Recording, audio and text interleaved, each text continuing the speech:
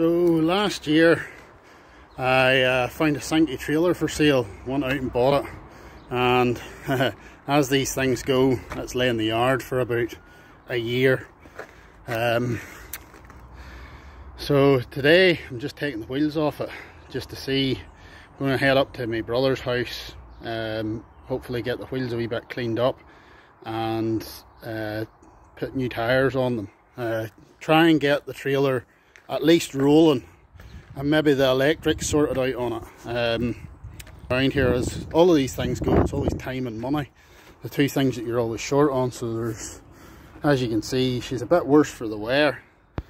But uh, underneath of her, the chassis is, is perfectly fine. the drum brakes are pretty bad on her, like, I'm not going to lie.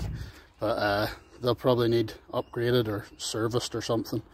Um, I've got a back bumper coming for me disco and I've got a NATO hitch for it so hopefully that will go onto the back of the Mud Hunter with its ram's head.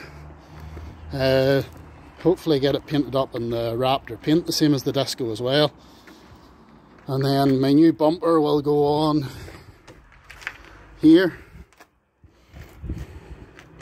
So that bumper's shot, the the back light's melted out of it. And uh, that one there's smashed so I've got new bumper new lights. Sort that there out get that all tidied up and then uh, get the NATO hitch on. Get towing this yoke just full of firewood uh, so that we make a massive fire and camp. So I'll give you a wee update and see how it's going